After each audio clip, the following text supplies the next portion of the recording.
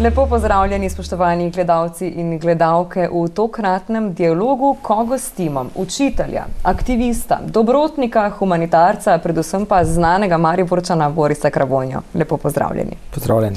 Kar nekaj sem jih naštela v vodu, pa vendarle, poleg vseh teh opisov, vas označujejo tudi za mariborskega Robin Hooda. Zanima me, kako bi se sami pravzaprav opredelili, kdo in kaj od tega ste. Jaz še vedno mislim, da v prvi vrsti sem humanist. Tako kot se vedno predstavim svojim dijakom, da je v bistvu to tisto, kar mene najbolj označuje.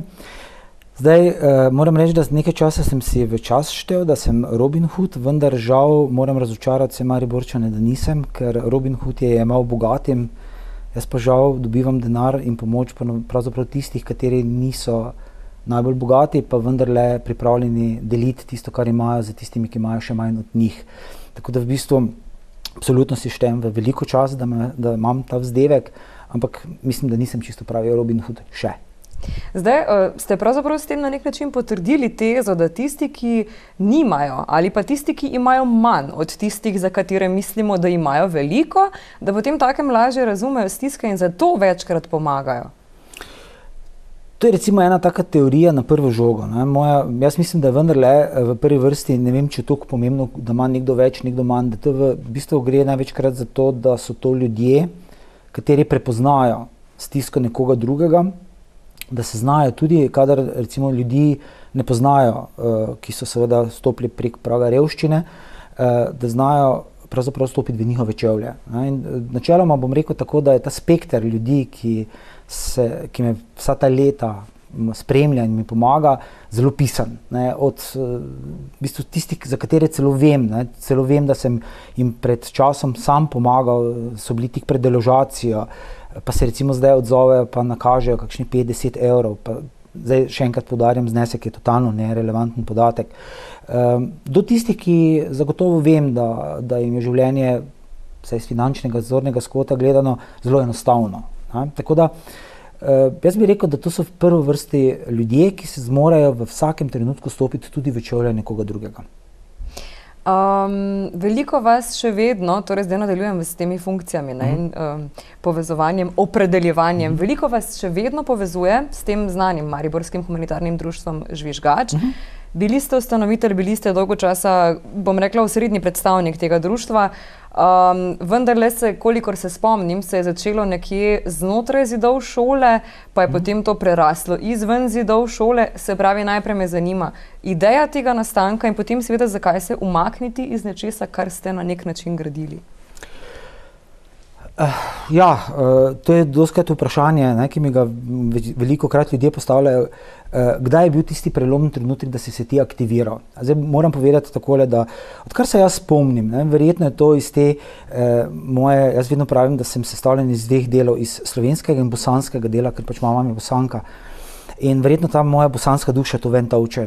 Da se spomnim, da pravzaprav meni nikoli ni bil problem deliti barvic, ne? čeprav eh, mi jih je na koncu vedno zmanjkalo. Da, da očitno je to nekje v meni, ne? da tudi verjetno prihajam iz ene take družine, kjer je zelo pomembno uh, videti človeka, uh, ne pa toliko skrbeti za svoj lasen žep, kar včasih v življenju tudi ni najbolj pametna stvar, da se razumeva, nikoli mi nič ni manjkalo.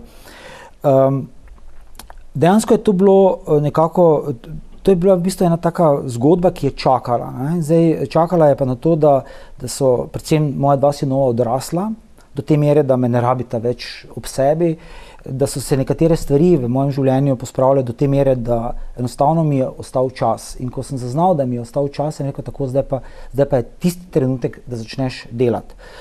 Uh, je pa prelomnica vsekakor leto 2008, ne, ko se je dejansko kriza začela, ki je zelo hitro udarila ponovno po Mariborčanih, ki se dejansko še niso povsem opomogli od tiste prve krize o osamosvojitvi. In uh, ko so meni začeli dijaki, tako kot vedno pravim, jaz vedno svoje dijake vidim kot, uh, oziroma jaz moram biti njim naravni sovražnik številka ena. Ne, se pravi, učitelj ni zato, da bi človek ga imel rad. Ne, da bi ga, ne vem, zdaj dajal neke zvezde, ampak učitelja moraš pač, ne, zdaj bom malo primitiven, pač vsak dan malo raztegniti. Ali pa poslušati. No? Ja, ne. uh, in uh, ko se ti isti mladi ljudje oglasijo pri meni in me prosijo za pomoč in svojo stisko od doma prinesejo in prinesejo name, takrat se meni prižgala ta rdeči, rdeči alarm in potem sem rekel, da je tega dovolj. Uh, v bistvu ja, začelo se je na šoli, stvar je potem iz neznanega razloga zelo hitro prerasla v eno, bomo rekli, tak, bomo rekli kar eno obsežno akcijo, uh, s katero se je potem rodil, uh, se pravi, najprej sem jaz začel delati v gibanju 29. oktober, to so v bistvu otroci, stajniški otroci v tistem času, ko je Maribor bil stajniško mesto. Uh, jaz sem se post-festom jim priključil. Namreč jaz nisem eden od tistih herojev, ki bi upal na ulico z granitno kocko. Ne, to pa ne, tega se bojim. Uh, sem pa v teh stajnikih začutil eno skupino ljudi, ki so me prebudili. Malo so potrkali na mojo vest. Uh, potem smo ugotovili, da dobrodelnost in stajništvo ima sicer neke skupne korenine, nima pa skupne poti. In smo, sem jaz dejansko za, to, za svojo dobrodelnost šel svojo pot in se rodil žvižgač. Uh, v bistvu, ja, načeloma je bil to nek moj projekt, uh, nikakor pa ne samo moj. Uh, potem pa v bistvu je tako, da um, mislim, da sem jaz tukaj naredil celo vrsto takih, uh, bi rekli, otroških, naivnih napak, uh, predvsem zato, ker um, dobrodelnost, prostovoljstvo, to ni. Uh, Tega človek ne samo da začuti, ampak tu moraš imeti ogromno znanja. To se pravi, da ne jemljete tega kot službo. Recimo, ne, ne, ne, ne, ne, ne, to je poslanstvo. Ampak kljub vsemu rabiš ogromno informacij od tistih, ki so dlje časa v tem, tej zadevi. Ne? In Tjaša Arko, ki je predstavnica filantropije Slovenije, je dejansko mi ponujala eno izobraževanje, ker tega, tega je precej, ne? filantropija Slovenije genialno dela. Uh, ampak jaz sem takrat zelo samo všečno in uh, sam sebe zavarovano nekako razumel to, mah, jaz tega ne rabim, jaz to imam. In sem stopil na ta nek let. Ne? In tako je pravzaprav ta zgodba z žvižgačem se končala in uh, se nadaljuje neka nova zgodba. Uh, v vsakem primeru pa uh, vse te zgodbe so neke, neke, neke zgodbe na poti uh, k cilju in cilj pač je jasen. Ne? Uh, jaz ne da pričakujem, jaz zahtevam od države, da bodo ljudje, moji sodržavljani, živeli tako dobro, kot živim jaz. In ni kompromisa. O tem bomo še kasneje, pa vendar le greva lepo po vrsti. Uh, še v času delovanja žvižgača ali pa že takrat, bova rekla, ste mnogo krat naleteli na različne očitke, torej ne samo pohvale, teh je bilo seveda ogromno, tudi očitki so bili, ne, v smislu, da ker ste, tako bom rekla, ker ste pomagali tudi Romom, ker ste pomagali tudi beguncem. In potem seveda so se vrstili očitki, ki so šli v smislu, zakaj pa pomagate drugim in ne slovencem. Kako ste recimo na to odgovarjali? Odgovarjal sem in odgovarjam zdaj in odgovarjal bom. Uh, za mene je človek človek. In tu ne, ne odstopam. Beguncem sem pomagal, beguncem bom pomagal, Romom sem pomagal in Romom bom pomagal. In ni je sile na svetu, ki bi me pripričala v nasprotno. Namreč ravno na tej točki, kako naj bom jaz vsem svojim generacijam, 22 let nazaj in 23 let naprej ali še kakšen zraven, verodostojen učitelj, eno učim, delam pa drugo. Najprej govorite o rasizmu, predvidevam? Govorimo o vseh oblikah nestrpnosti, od rasizma, antisemitizma, ksenofobije, nacionalizma in vseh ostalih izmov, ki pravzaprav na koncu pripeljejo samo do kretenizmov. In ne odstopim. In ko pred menem stopi človek, ki me prosi za pomoč, me je vse eno. A si bel, a si rumen, ali imaš takšno vero, ali imaš drugačno vero. Skratka, za mene to ni relevanten podatek. Za mene so pomembni ljudje. In zato pravim, da sem humanist. Če oziroma ko se je zgodba z žvižgačem torej z vaše strani zaključila, hmm. ste, če se ne motim, dejali skoraj da tako zelo konkretno, kot bom zdaj rekla, nikoli več ne bom imel društva oziroma ustanovil društva takšnega, ali to še zmeraj drži in zakaj potem taka izjava sploh? Jaz imam eno srečo, ne, da uh, v bistvu imamo kar precej ljudi, ne bom ravno rekel, da so to izključno res prijatelji, ampak precej ljudi, ki me imajo iskreno radi, kar pa je zelo, zelo težko. In če bi imeli kogarkoli od teh ljudi, ki me imajo iskreno radi, in bi jih vprašali, kdo je Boris, kdo je ta čudak, vam bi rekli, on je šolski primer drama queen. Ne? Ko meni pride pet minut teme na oči, takrat se svet ustavi, takrat jaz dramatiziram do skrajnosti. Takrat je najboljše ne slišati, ne brati, ignorirati. In potem, ko to mine, postane Boris ponovno, pač gre v neke svoje tirnice. In za stvari, katere jaz najbolj glasno tulim, nikoli več. So zarečen kruh, torej. Ma, ja, jaz sem tega zarečenega kruha se nažrl že toliko, da bi lahko imel vse 100 kg. tako da, uh, ma, ja, jaz sem en tak. Um, Tako tudi žena vedno pravi, da pač jaz sem kot vulkan, ki nikoli ne veš, da bo eksplodiral, v vsakem primeru pa eksplodira. Pa eksplozija traja uh. in se umiri? Ali... Mm, ja, ne, ja, odvisno za kakšno varianto gre. V vsakem primeru pa, uh, tako kot sem rekel, res vsem tem ljudem, ki so okoli mene, vsaka jim čas, da to ni preživijo. To je od mojih kolegov v zbornici eh, do znancev, prijateljev, družine. Skratka, eh, resnično mora imeti zelo, zelo veliko mero potrpežljivosti. In če je kdo primer dobre prakse, tolerantnosti, potem so ti ljudje okoli mene, oni so res tolerantni ljudje. Prav, obdelajva še zdaj učitelj, ne? malo ste že namignili. Torej, profesor zgodovine ste na srednji ekonomski šoli. In zdaj, seveda, ko, ko rečem profesor, se kar sama po sebi vrstijo ta vprašanja, ki se sama po sebi kar postavljajo. Se pravi, ne vem, kaj vam predstavlja učenje, malo ste že namignili, ne? nekaj učite, potem morate potem za tem stati in v tej smeri delovati. Kakšno delo je to učenje? Ker najbrž predstavljam si, da to najemljete samo kot, ne vem, jaz sem predavatelj, oni poslušajo. Ne? Potem pa seveda, kakšni so ti najstniki, ki, ki po eni strani pravite, vas eh, bi morali vsak dan malo raztegniti, po drugi strani vas morajo poslušati. Kakšno je to delo, kako ga vidite, kako ga dojemate? To je v bistvu največji dar življenja, ki mi ga je življenje podarilo. To, da sem učitelj. V 22 letih mojega službovanja se mi ni zgodilo, mogoče enkrat, dvakrat, da bi zjutraj se vstal in rekel: Zdaj pa imam službo. Uh, v bistvu ti najstniki, ti moji dijaki, oni so eliksir mladosti. Ne, ne, enostavno ti ne dovolijo, da se postaraš, ne moreš biti uh, konzervativc, moraš ostajati vedno v trendu. Um, čeprav moram reči, da me zdaj že kdaj pa kdaj tudi čas povozi. Um, v bistvu je tako, da uh, jaz to razumem kot um, za sleherno uro, ko stopim v razred, se moram potruditi za naklonjenost svojih dijakov. Se pravi, nisem jaz zvezda 45 minut, ampak to so oni. In uh, v bistvu moraš, moraš uporabiti vse svoje, vse svoje znanje, vse svoje sposobnosti, predvsem pa uh, izjemno, izjemno odkrit moraš biti z njimi. Če je kdo senzor laži, so to dijaki. Zelo redko kdaj direkt povedo, ne? zato ker še, vedno ne, še vedno jih učimo, da, da pridnost pomeni biti tiho. Uh mhm. -huh. Kar pri meni vedo, da to ni res. Uh, in uh, znati pa na svoj način pokazati. In uh, bom rekel, da vedno sem bil, doskrat seveda presenečen, včasih celo uh, rahlo, uh, kako pa zdaj to nekdo meni, dijak, jaz pa profesor. Ampak moram reči, da so vedno mi dijaki dajali zelo konkretne in zelo iskrene kritike. In nikoli v življenju, dobeni generaciji eh, dijakov ne bom toliko dal, kot so oni meni dali in še mi vedno dajajo. Kaj pa ta fama, da pravzaprav današnji najstniki se sploh nočejo učiti, niso motivirani za učenje, zato ker so pač bolj in tablice in mobiteli in razni. Zraven Facebooka še milijon tistih četov, ne vem, kako že pač se vsi imenujejo. Ne? Kako jih motivirati, torej, da je, ne vem, sprejemati šolo in se učiti nekaj pametnega, pod narekovaj rečeno, ne? ali pa koristnega. A smo lahko malo odkrita? Prosim, ja. Kako smo pa mi dva dojemala šolo med 15 in 19 letom starosti? Ja, kot neko nujno zlo, ne?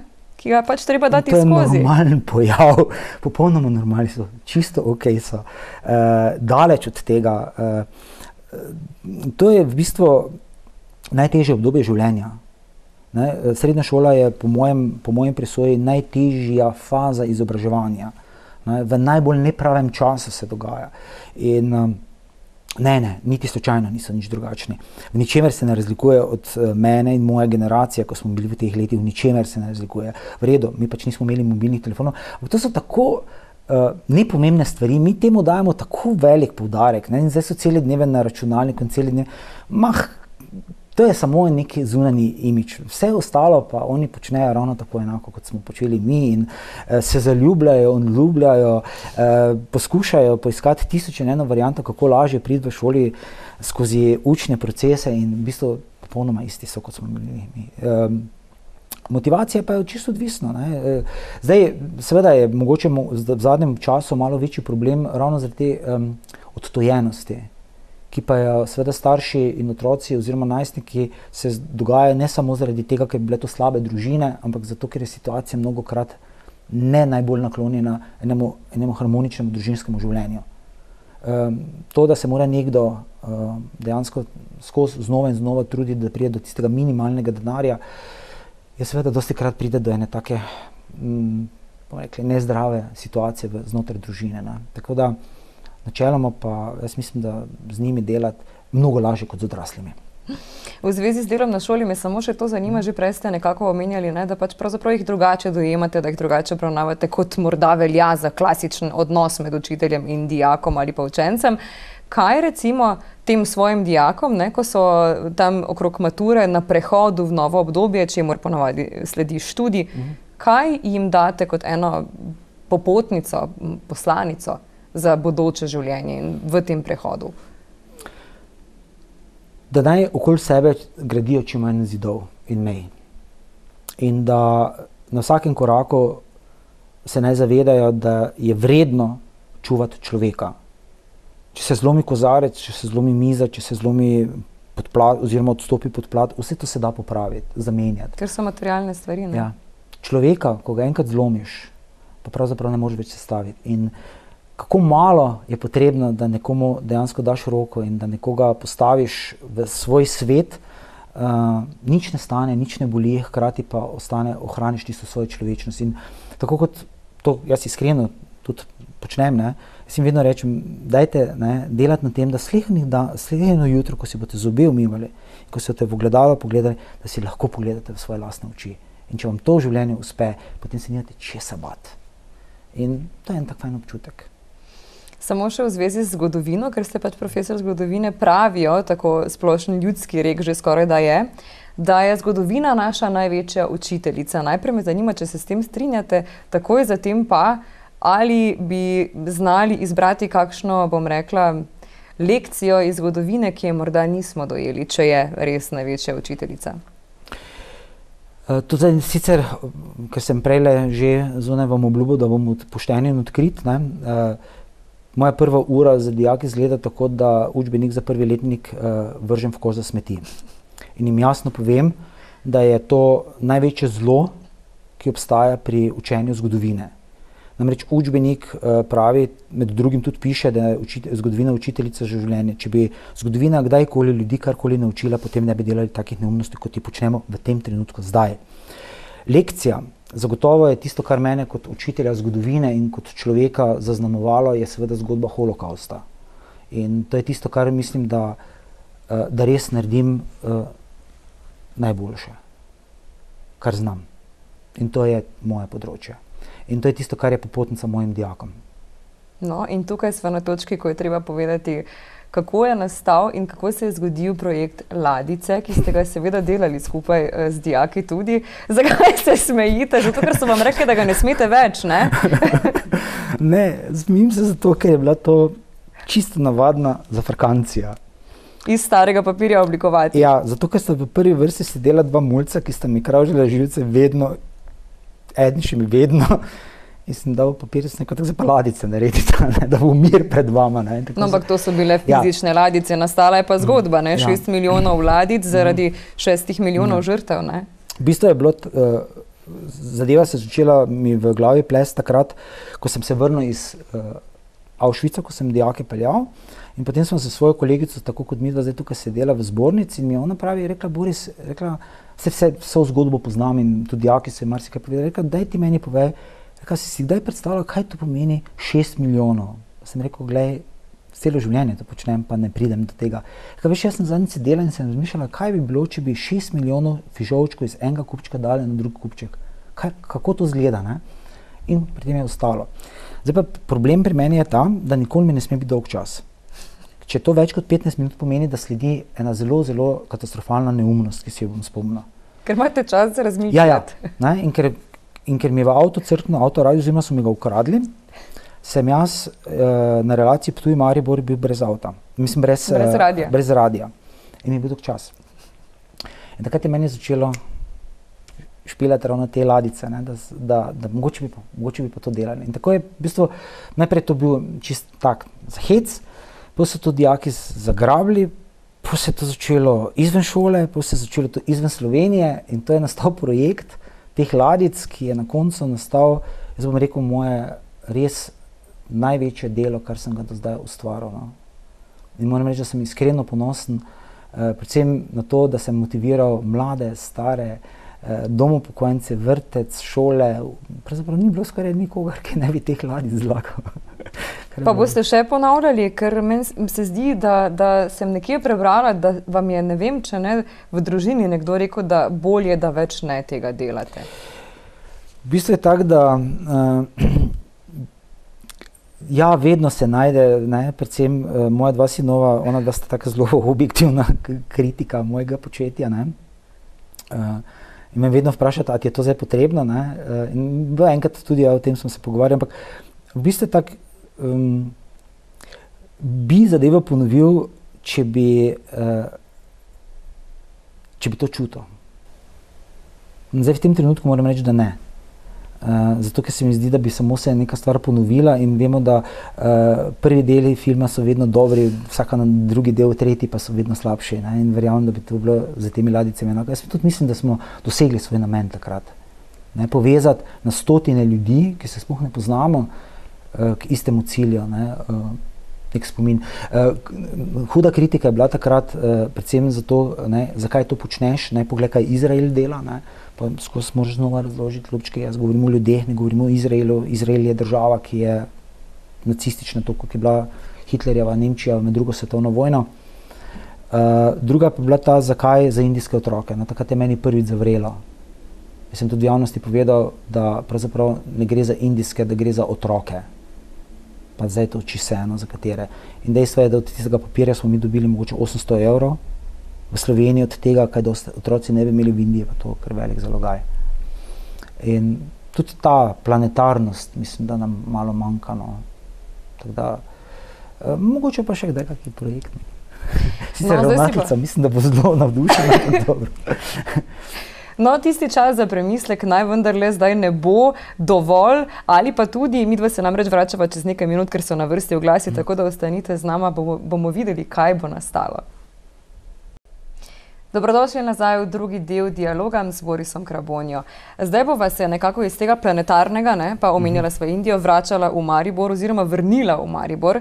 In ker omenjava projekte, sem se spomnila na še en projekt, katerega del ste bili takrat spet še vedno v času eh, aktualnega žvižgača.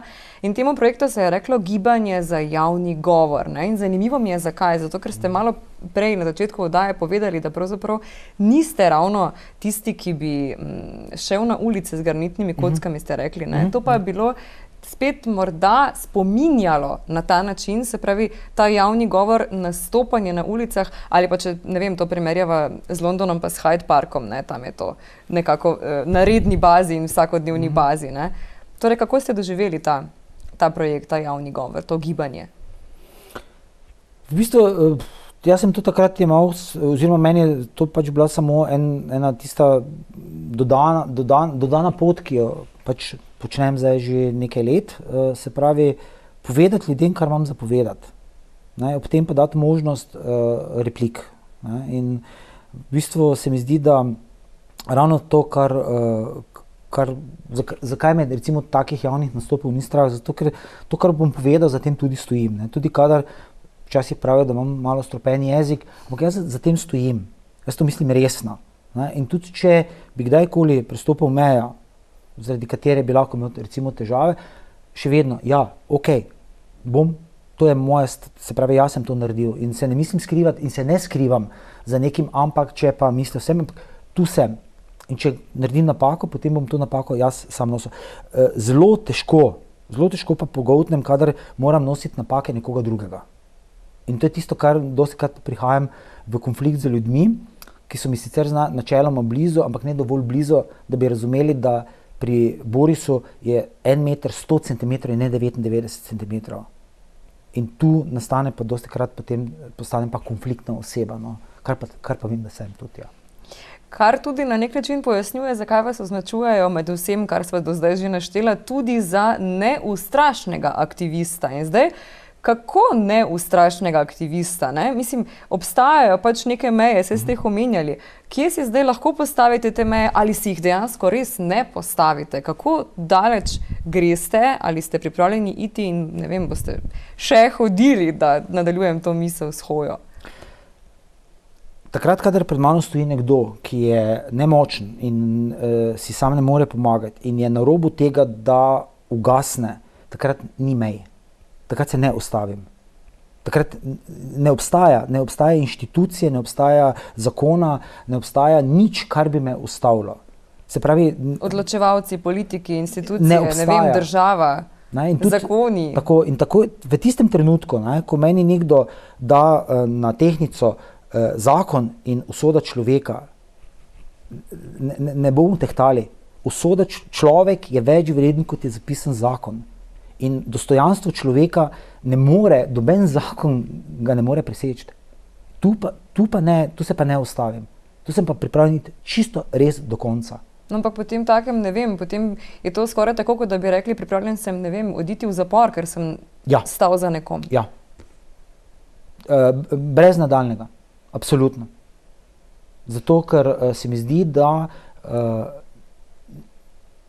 ne more, enostavno ne more, nišče ne sme vzeti človeku dostojanstva. Streha nad glavo, hrana, obleka, um, pitna ne, voda. Pitna voda, ne na zadnje, to socialno vključevanje, to so temeljne človekove pravice, pravica do življenja. Zakaj sem se jaz tako izpostavil zaradi beguncev? Zato, ker gre za njihovo temeljno, oni imajo temeljno pravico, pravico do življenja. In nešteto, kar sem že razlagal, tudi svojim dijakom na konkretnem primeru, danes sem ravno v enem razredu razlagal. Poglejte, v prvi vrsti sedijo tri deklice, dve iz Bosne, ena iz, eh, iz Srbije. Vse tri imajo drug materin jezik, vse tri imajo drugo religijo. One so med vami že eno leto. One v Sloveniji. Se, v Sloveniji. One se integrirajo. Zdaj mi pa prosim povejte, kaj je ta njihova integracija van vzela, kje vas ogroža, kaj ste vi manj dobili in kaj je zdaj tisto, kar se bo vam hudega zgodilo. Če mi nekdo razlaga, med tem, da to maso ljudi, ne vem, je, so teroristi, ne vem, kaj vse nakladajo. Ja, za božjo voljo, v vsaki družbi je nek procent pač sprevrženih ljudi. Torej, zdaj hočete povedati tudi v Sloveniji. Tudi v Sloveniji, tudi v Mariboru, tudi v, v šoli, tudi v razredu. Uh, vse posod imaš nekoga, ki pač ne dela po nekih temeljih uh, človekovih pravic. In človek ima pravico do življenja, pika, konec. Kje pa piše, da je ta Slovenija moja ali vaša? Kje? Mi smo jo podedovali po nekom in mi jo moramo nekomu predati. In če bo čez 100-200 let pač ta Slovenija eh, multikulturna, internacionalna in v končni fazi, eh, ne vem, eh, ljudje mi razlagajo o, o tem, kako velik je bil Aleksandr Makedonski, ko je bil film posnet, so masovno hodili ta film gledati in ploskali, ne vem, kaj vse jim doživljali Katarze. Aleksandr Makedonski je povezal različne civilizacije, po njegovi zaslugi je šla kultura naprej. In kdaj človek postane človek, ko ima več informacij, ko ima več izkušenj? Izkušnje dobivamo od različnih. Če smo si mi dva identična, dobenih izkušenj, si nima kaj, meni še dolg čas nam postala, ker si nima kaj pogovarjati. Zato sem se takrat izpostavil, zato sem takrat rekel, ne bom tiho. Ti ljudje imajo pravico do življenja. Če pa med njimi obstajajo kriminalci, posiljevalci, teroristi, imamo pa sodišča, institucije, ja. imamo policijo, imamo vojsko. In enako kot za me, če sem posiljevalec, treba ukrepati. Ne glede na to, ali sem uh, rdeč, ali sem zelen, ali imam črno kožo, ali imam rumeno kožo, je čisto eno.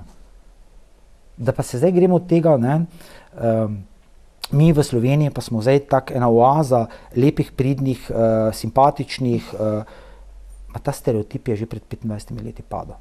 Nehajmo se delati, otvare sami sebi. Mi imamo resne težave. za svojo lastno identiteto zaradi sebe, ne zaradi drugih.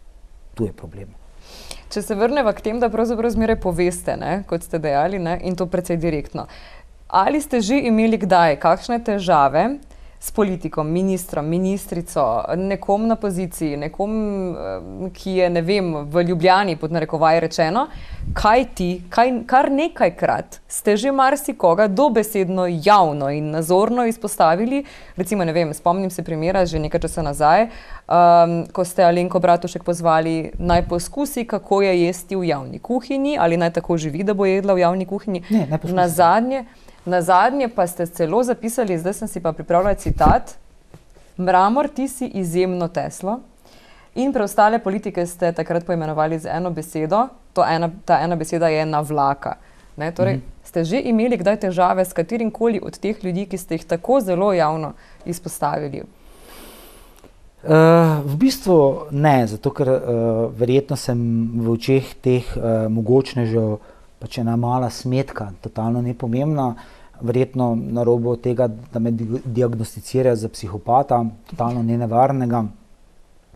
Uh, zdaj, Še pač, dobro, da ne nevarnega, ne? ker potem bi, bi najbrž že bili zaprti. Ja, mogoče, no, ja, verjetno tudi to bi se lahko zgodilo, pa se mogoče celo bo zgodilo. No? S to razliko, da uh, konkretno v tem primeru gospoda Mramorja, uh, mislim, da to jaz resno mislim, ne? zato ker sem ga poslušal uh, po televiziji in uh, tri sekunde po končanem intervjuju na uh, eni izmed uh, slovenskih televizij sem to zapisal, ker je on govoril o tem, uh, da pravzaprav upokojencem pa se ne more dvigniti pokojnina, ob tem, da sem jaz uh, za vse, vso armado ljudi uh, krvavo bitko bil za to ubogo upokojenko, zato ker pač je to veliko obremenitev državnega proračuna. Uh, gospod Mramor, 313 evrov, uh mhm. -huh. pa da vas vidim. In vse ostale.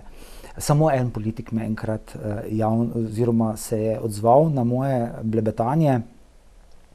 Uh, Posebej pa na Facebooku moje ime črno, oziroma njegovo ime črno izbarvalo, kar pomeni, da me je blokiral. Uh, sva pa izmenjala nekaj uh, mnenja. No, zdaj, glede na to, še posebej glede na to, da ste pač vse ostale politike označili z eno besedo in to je na vlaka, me zanima, kakšno je zdaj to vaše, bom rekla, splošno mnenje o politiki, pa ne glede na to, ali mhm. govoriva o nacionalni ali o lokalni. Ker čemu naj bi pravzaprav bila namenjena politika, če si dovoliva izhajati morda iz samega izvora besede, uh, torej polis pa krate in se mhm. pravi mestna država, uh, oblast, vladati, pravzaprav ne samo vladati, ampak tudi usmerjati družbo. Uh, zdaj, zadeva je tak, uh, biti politik pomeni, da to za to funkcijo prosiš. To ni služba, to prosiš. Ne? In če ti prosiš za to funkcijo, potem imaš moralno dožnost, da od tistih, z katerih si prosil, zato, da te postavijo na to mesto, da jim služiš. Njim služiš. To pomeni služiti svojim državljanom. Uh, jaz premalo poznam, kako funkcionira država, ker sem na tem področju absolutno bos in neizobražen. Ampak uh, razumem, da je leta 2008 prišlo do krize, razumem, da je bilo leta 2009 še hudo, da je bilo 2010 hudo nočem pa več razumeti, da 2016 še huje. In uh, kot sem rekel, meni je popolnoma noben problem ni preživeti in, in bo verjetno tako, verjetno upam, vse ostalo. Ampak enostavno politika, politik je dolžen delati za dobrobit ljudi. Zato da se oni zdaj eh, prerekajo, oziroma da imajo zdaj tam celo, celo armado nekih diskusij okrog tega, ali sta ona dva policaja zdaj onega namerno ustavila ali ne namerno ustavila in o tem razpravljajo in ne vem kaj vse in zdaj meni že imajo neke, eh, ne vem kaj bojo naredili. Na drugi strani 30 tisoč upokojencev, pa da, jaz si to lahko javno govorim, zdaj nimam dobenih političnih ambicij. In celo nikoli v življenju ne bi v ta svet šel. Sem vas pravkar hotela sprovocirati, zakaj pa ne bi sami šli v politiko? Zato, ker sem mojima sinovoma obljubil, da nikoli v življenju se ne bom packal svojega imena in njuna imena z tem, kar počnejo politiki. Ja, bom politik, bo, oziroma bi šel v politiko, če bi, bila, če bi bilo to delo, katero dejansko dela v dobrobit ljudi. V nobenem primeru. In dejansko ja, jaz ne rabim dobenih rejtingov, jaz, jaz ne rabim dobenih točk, meni ne rabi nišče aplaudirati. Lahko, ali voliti. Ja. Ali voliti. Zato z gotovostjo apeliram na njih, oziroma populistično poudarjam, da 30 tisoč upokojencev imate krepko pod pragom revščine, 55 tisoč lačnih otrok, da mora botrstvo Slovenije eh, preučeve smučke prodajati in seveda delati ne vem kakšne projekte, zato da, da se naredi to, kar bi morala država poskrbeti. Da imam jaz primer dveh dijakov, dijakin in dijaka, ki se bota izpisala Zato, ker ne morete v šolo hoditi, ker enostavno ne, doma ne preživijo, če ona dva ne bosta šla delati. V 21. stoletju, danes v Mariboru, v Sloveniji. In absolutno, z, z vso odgovornostjo jih pač imam za na vlaku, odveč so. Tako kot je tisti moj prah v, v moji sobi, kot je eh, papirovje v mojem delovnem kabinetu, ki je odveč in je na vlakanje, pač treba to pospraviti. Tako da, ne vem, v vsakem primeru se mi zdi, da um, so oni odgovorni tej državi. In oni imajo škarjem platno jasne. Zdaj bomo nekako nadaljevali v tem smislu, sistemskem smislu, no ne toliko politike, se pravi del sistema, v katerem smo in, in po katerem deluje naša družba, sta zagotovo vsaj dve instituciji, ki se ukvarjata um, s tako imenovanim poljem, socialnim poljem. No, bova tako rekla, prva je zagotovo Zavod za poslovanje, um, kjer sicer v zadnjem času beležijo nekoliko bolj optimistične statistične podatke, ne? ampak seveda vemo, da stopnja brezposelnosti je še zmeraj zaskrbljujoča. Naslednja taka institucija je pa zagotovo Center za socialno delo. In zdaj, Na eni strani na zavodu se torej trudijo in posredujejo delo, na centru pa pač dajo te tako imenovane, ne vem, otroške dodatke ali pa socialne pomoči. In jaz verjamem, oziroma vas sprašujem, um, vi te ljudi, ki to prejemajo, poznate z prve roke. Se pravi, v čem je zdaj težava? Zagotovo ste kdaj razmišljali, da tak sistem, kot je, s temi pomočmi, s temi socialnimi transferji, da najbrž ni dovolj dober, če ti ljudje kljub temu s temi, ne vem, 260 ali koliko, 300 evri, najbrž ne morejo živeti, Ste razmišljali, da bi morda sistem oziroma te institucije lahko delovali drugače? Ja, in ne. ne. V bistvu je um, stvar, se mi zdi, da je um, precej uh, birokratsko zapletena. Uh, tudi recimo to, kar sem z različnimi, ne, od uh, Stan Investa, javnega stanovanskega uh, mestnega sklada oziroma stanovanskega sklada oziroma medobčinskega stanovanskega sklada, ne vem, elektro, zavarovalnice, banke in tako dalje. Posud v bistvu pridemo do ene točke, ko seveda po črki zakona oni niče se ne morejo. Ne. In ne smejo. In ja. ne smejo. Ne. Meni je popolnoma jasno, da preneko krat bentim na temi delovkami in socialnem delu. Ne. Eh, centra za socialno delo. Ne. Pa moram reči, da med zadnjič tudi eh, ta njihova eh, direktorica kar malo razjezila, ne, ker v celi oddaji, ker, ker bi lahko marsikaj povedala, tudi ona pa z prve roke lahko konkretno pove, v čem oni, ona vidi težavo. Kajti dejstvo je, da 288 evrov socialne pomoči ne zadostuje za normalno preživetje človeka. In da za zavod za zaposlovanje je trend rasti, ampak še ja. vedno absolutno premajhna. Ne? In tu še vedno mladi ljudje ostajajo v glavnem brez dela. Ne? Diplomanti, ja. Ja. ali pa celo tisti, ki imajo magisterij, dosti ja, ja. krat. Uh, in v bistvu, da ona potem celo svoje, cel svoj intervju zaključi s tem, uh, da ona pač misli, da je treba dvigniti uh, zaposlenost. Ja, to vemo vsi, no, hudiča. Zdaj, kaj je pri njih problem? To, da imajo v bistvu zvezane roke. Ne? Se spomnim, ena gospa mi je enkrat iz centra za socialno delo neformalno smo se v gledališču se srečala, so se pogovarjali, zelo prijetna gospa. In rekla je, rekla, veš, Boris, rekla, ti imaš eno veliko srečo. Ne? Ti lahko izzivaš sistem, ki te ne obremenjuje doben zakon. Ne? Ti nimaš zvezanih rok. In je meni na, v bistvu na nekem določenem polju res mogoče enostavneje. Čeprav po drugi strani pa jaz nisem rešil dobenega problema. Jaz samo malo blažim te udarce, te pace, ki ti ljudje vsak dan doživljajo, samo, jaz sem samo blazinica. Ne? Vse, kar je bilo kdajkoli rečeno, ne, zdaj ta mariborski, karkoli že pač je, je rešil. Ničesar nisem rešil, ker samo blazino sem nastavil, da je ta oseba na mehko padla, ampak še vedno je na dnu. Tu pa je država tista. Ne? In dejstvo je, da je treba kakorkoli prvo urediti, eh, kar se tiče pokojnine, drugo pa, jaz še vedno mislim, da univerzalni temeljni dohodek je ena izmed rešitev. Če si če Švica je šla v to. Pa ne bi zdaj o tem, kako imajo oni visok standard in tako dalje. Ne? Ja, pa če više plače so. Ne? Jaz mislim, da se tudi tu pri nas bi dalo, če bi pravi ljudje se usedli, če tu ne bi šlo za to uh, kupčkanje, kdo bo koga, kak, zakaj, ne? ampak da se dejansko enostavno da jasno vedeti, da nam je pa res v interesu reveže rešiti. Veliko krat ste recimo izpostavili upokojence, ne? o teh konkretnih primerih bova čisto malce uh mhm. -huh. kasneje, namreč samo eno vprašanje imam, kar se tiče sistema in spet bom citirala vaše besede, uh -huh. da je pravzaprav vaša humanitarnost upor proti uh mhm. -huh. sistemu. Ne? In um, potem se nekako pojavlja vprašanje, če se vi morate upirati temu sistemu, ne, um, ali ne bi šlo delovati z roko v roki. Da bi ne vem, ali potem takem pač mora biti neko društvo in organizacija, ki bi lahko delovala z roko v roki, naprimer s centrom za socialno delo ali pa naprimer z zavodom za zaposlovanje ali pa katero koli drugo državno ali javno institucijo. Torej, zakaj biti humanitarec, ki se mora upirati proti sistemu, ali ne gre doseči nekega sodelovanja? Zdaj, če greva čisto od zgoraj na vzdolj, uh, edini politik, ki je do zdaj bil z mano pripravljen se konstruktivno pogovarjati, je bil gospod Klemenčič, ministr za pravosodje. Uh, pri vseh ostalih, tako kot sem rekel, že prele čist ena majhna smetka, nepomembna.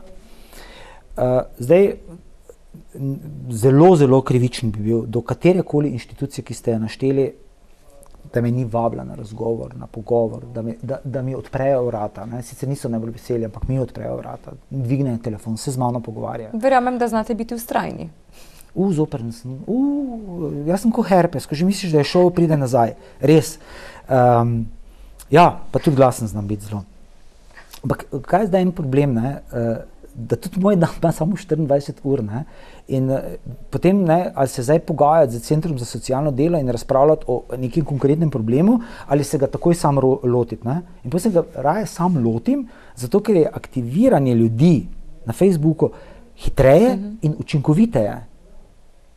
In pravzaprav, kaj pomeni moj, uh, ta humanitarnost, moj upor? Da se pravzaprav z eno iskrenostjo, z eno transparentnostjo, z eno človečnostjo, da stvari premikati na bolje. In samo ta, to moje delovanje bi želel, da postane ena, en primer dobre prakse.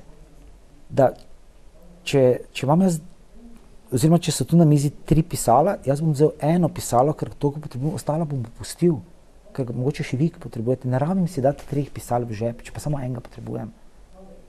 In to bi želel, in to je ta moj upor. Ker mislim pa, da imamo, smo v tem uh, našem turbo sistemu. Uh -huh. ne, eh, se pravi, to je ta nakupovalni center, ki so nam ga dali, ne, ki smo ga leta 90, 91, 92 sprejeli z odprtimi rokami, lačni ne, teh zahodnoevropskih artiklov, potrošniškega materijala.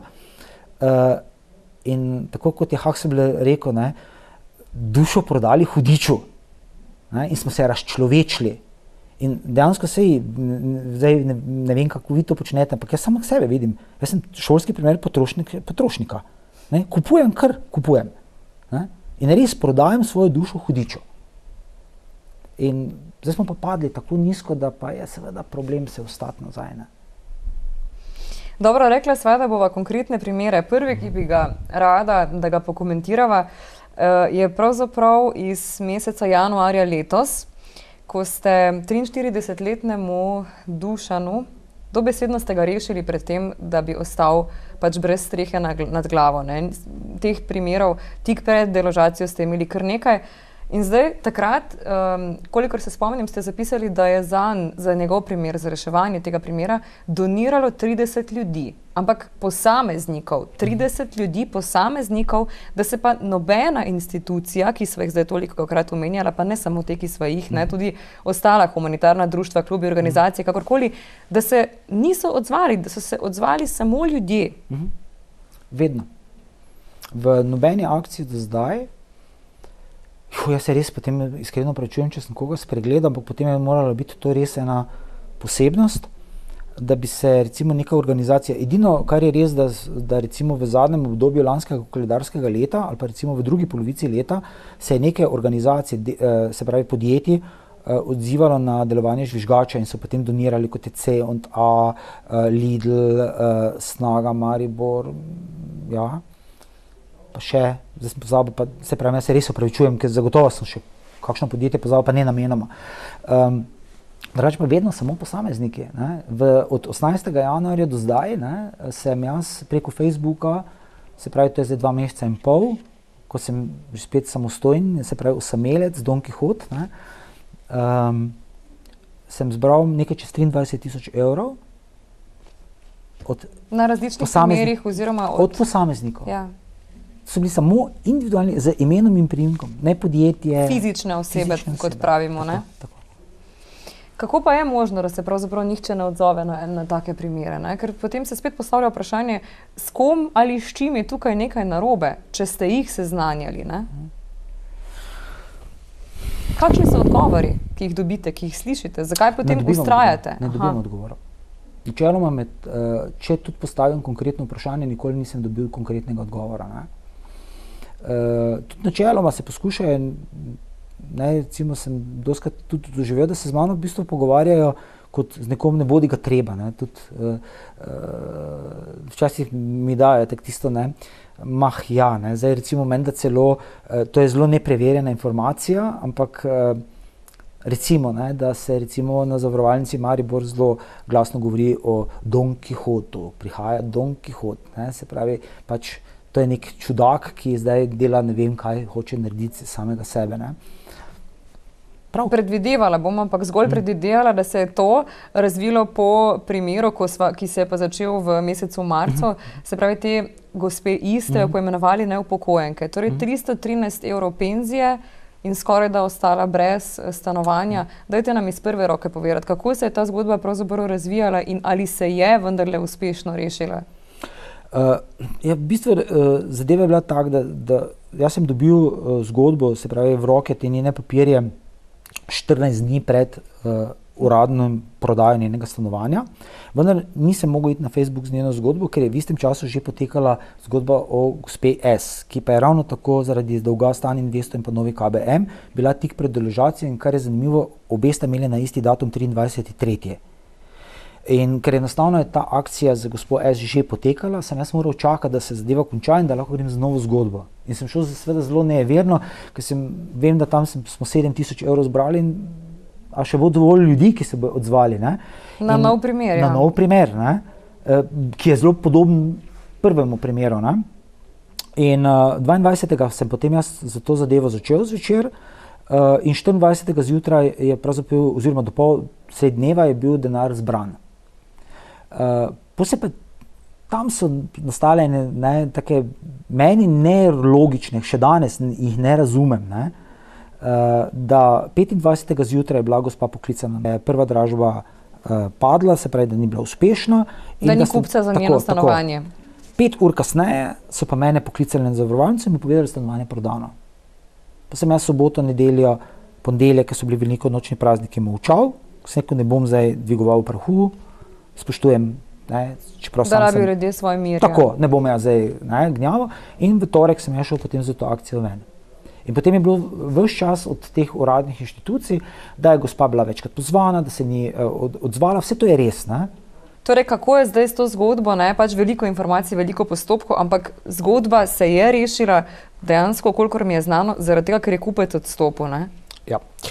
Vse to je bilo ravno ta prelomnica, ne, da kupec odstopi. Zdaj, vse, kar je še ostalo nedorečeno, oziroma še ne rešeno, je ta kupnina v višini 5500 evrov, za katero bomo pa seveda jasno, če drugače ne, seveda tudi ponovno na ta moj način poskušali gospe pomagati, pa s tem seveda zadevo tudi zaključiti. Je pa seveda zdaj na, na potezi, seveda so pa državne inštitucije, ker tako kot sem rekel, zdaj pri gospe ISE ima že spet samo blazina ker dejansko za 313 evri, če se zadeva opusti tako, kot je zdaj, pomeni, da bo čez kakšno leto ponovno pri meni.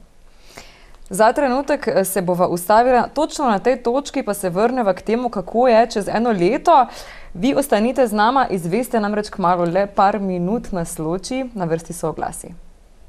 Dobrodošli nazaj. Obljubila sva, da poveva nekaj še na temo tega ublazinjenja. Se pravi, zdaj pravzaprav vse čas govoriva o tem, ne, kako ste pomagali. Ampak to je pravzaprav pod narekovaj rečeno, odpisovanje dolgov ne, v mhm. smislu plačevanja nekih starih dolgov, v smislu mhm. plačevanja dožnosti, ki so zapadle, eh, položnic in tako naprej, najemnin in podobno. Ne.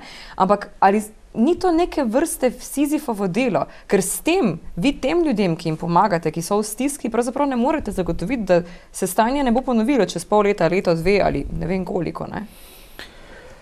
Na srečo imam nekaj takih zgodb, katere so se končale uh, z res končno, končnim dobrim rezultatom, ne po moji zaslugi, ampak zato, ker so se neke druge stvari poklopile, pozložile in pospravile tako, kot morajo. Uh, jaz svojega dela nikoli ne gledam kot Sizifovega dela, ampak kot samo delo, ki bo trajalo, trajalo in še naprej trajalo.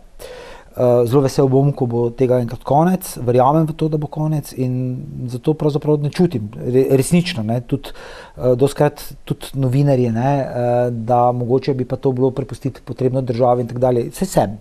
Vse pravzaprav do pred treh let sem jaz spustil vse države, jaz se nisem vmešal v delo države nikoli. Ne. Pač enostavno sem pustil, da dela, ampak ker ne dela tako, kot bi morala delati, sem se pač vmešal v njeno delo in to sem naredil zavestno, odgovorno in pravzaprav bom delal naprej. In pri tem sebe ne vidim ne žrtev, ne človeka, ki bi bil preobremenjen, tudi to, da bi pregorel, izgorel in tako dalje, je skoraj da nemogoče. Zdaj, glede na številne primere, na številne pravzaprav težke zgodbe, ne bom rekla uh, slabe ali ne, ker se dobro končajo, mm. glede na vse te številne stvari, uh, s katerimi se soočate, zagotovo pride trenutek, ko ste tudi sami, ne vem, utrujeni, izčrpani, ko ne morete več.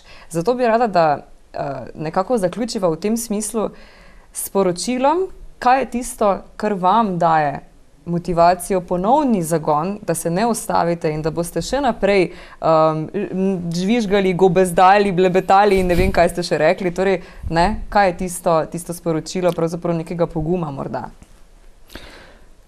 Uh, zdaj se bo slišalo zelo holivudsko in zelo osladno. Vse ste Robin Hood, nič hudega. Vredo, hvala. Um, V bistvu vsak petek, ko se moja dva sinova vrnete z velenja, ko en ali pa drugi mi naredi po rami stari dobro delo, si upravo, je to um, nagrada, ki je neprecenljiva in napolnita me s toliko energije, da pravzaprav ne more se zgoditi zgodba, ki bi me izsesala do skrajnosti oziroma do izgorelosti. Tako da, ja, to sta moja dva sinova. Se pravi, tisti, ki nimamo otrok, naj poiščemo nekoga, ki bo to znal storiti za vse ostale. Ne? Jaz mislim, da so otroci ena taka dodana vrednost življenju. Zagotovo vedno sem rekel, uh, ko jih nisem imel, mi nič ni manjkalo, ko sem jih dobil, sem ugotovil, kaj imam. Tako. To je bil Boris Krabonja osebno, kot se ponovno podpisujete. Hvala, da ste bili z nami, hvala za vse vaše zgodbe. Hvala vam. To je to za nocoj. Bodite z nami vsak ponedeljek ob 20. s takšnimi in drugačnimi zgodbami v dialogu. Nasvidenje.